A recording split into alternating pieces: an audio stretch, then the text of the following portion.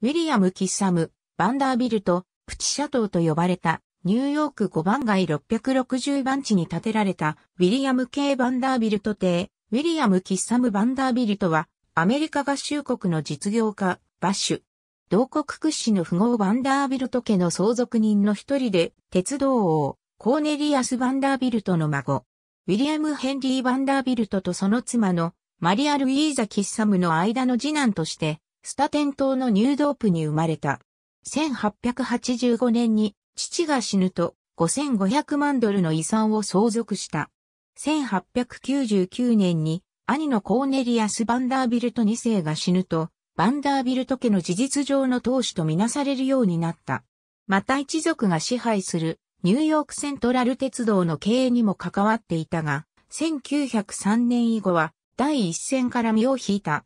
1875年4月20日、アラバマ州モービルの小農園主の娘アルバー・アースキン・スミスと最初の結婚をした。夫妻の間には長女でイギリス貴族の第9代マールバラ公爵に嫁いだコンセーロ・バンダービルト、長男のウィリアム・キッサム・バンダービルト2世、次男のハロルド・スターリング・バンダービルトの3人の子女を設けた。ウィリアムは1895年にアルバと離婚し、アルバは翌1896年にユダヤ系銀行家のオリバー・ベルモントと再婚した。ウィリアムは1903年に銀行家の娘アン・ハリマンと再婚した。アンとの間に子供はなかった。1879年に工業士 P.T. バーナムからマディソンスクエアパークを買い取り、工業会場マディソンスクエアガーデンとしてリニューアルさせている。ウィリアムは1895年にアメリカスカップで優勝した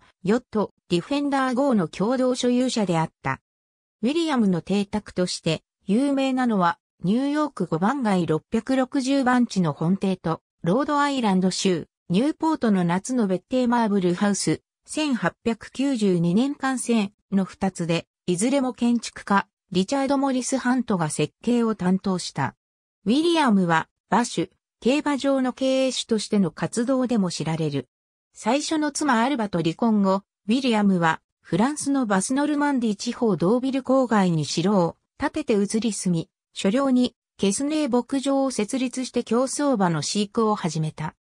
ウィリアムが牧場で飼育させた多くの競走馬は、クリテリウム・ド・サンクルー、ジャン・リュック・ラガルレール賞、パリ大賞店、フォレ賞、ジョッケクルブ賞、ジャンプラ賞、モルニ賞、ロベール・パッパン賞、ロワイヤル・オーク賞などの大会で優勝を果たした。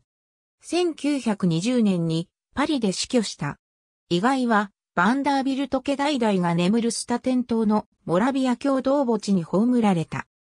第二次世界大戦中、アメリカ海軍はリバティ戦の一つにウィリアム・ケイ・バンダービルトの名前を冠した。ありがとうございます。